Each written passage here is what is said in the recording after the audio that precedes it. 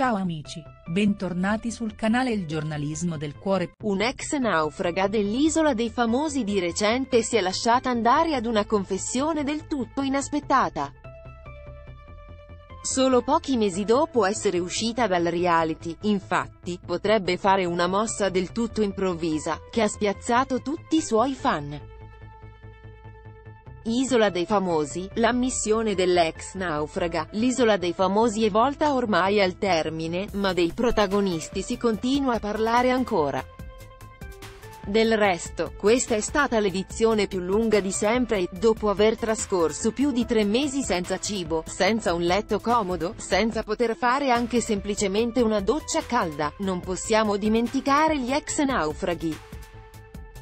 Si parla spessissimo del vincitore, Nicolà Vaporidis, che è stato un personaggio abbastanza controverso fin dall'inizio del gioco e forse, dati alla mano sui podi dei reality, proprio questo gli ha permesso di vincere.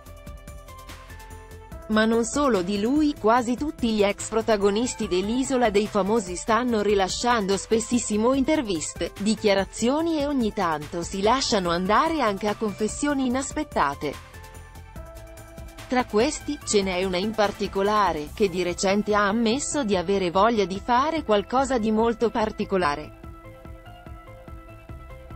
Nessuno poteva immaginare che proprio lei avrebbe detto quello che di fatto ha detto. Ecco di chi si tratta e quali sono state le sue dichiarazioni. L'ex concorrente dell'Isola dei Famosi in questione è Gwendalina Tavassi, ma in realtà ha portato con sé anche se virtualmente anche suo fratello Edoardo.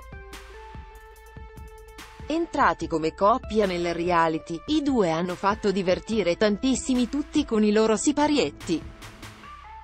Poi lei ha scelto di tornare in Italia quando ha potuto decidere se accettare il prolungamento del gioco oppure no e successivamente anche lui ha dovuto abbandonare il gioco a causa di un infortunio al ginocchio a pochi giorni dalla finale. A distanza di un mese circa dalla fine dell'Isole dei Famosi, i due si sono autocandidati per il GF VIP 7.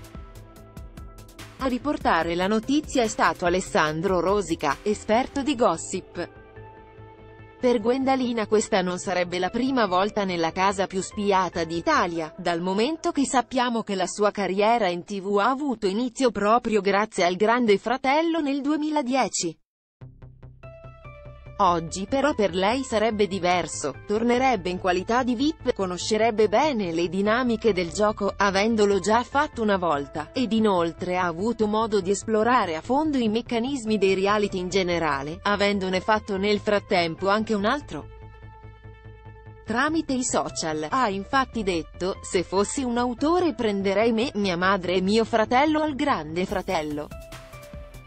Non sarebbe stata una cosa troppo troppo divertente? Allora voglio lanciare questa idea, questa piccola lampadina agli autori. Anzi li sto proprio pregando. Ma prendeteci che cosa ci fate con quelle mummie là dentro? Della stessa idea, suo fratello Edoardo che, intervistato durante il programma Non succederà più di Radio Radiol, ha detto che entrerebbe a far parte del cast del GF VIP 7, dal momento che gli piace l'idea di stare in una casa con tutti i comfort, a differenza di quanto accaduto sull'isola. Ha poi alla fine aggiunto, se Alfonso mi chiamasse lo farei probabilmente sì, ci andrei.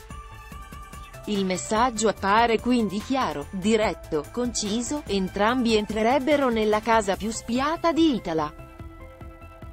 Non ci resta che attendere se Alfonso Signorini accoglierà la loro candidatura. Grazie per aver guardato l'intero video. Metti mi piace e commenta la tua opinione in modo che possiamo discuterne insieme. Ci vediamo nei prossimi video. Fino a quando ci incontriamo nuovamente.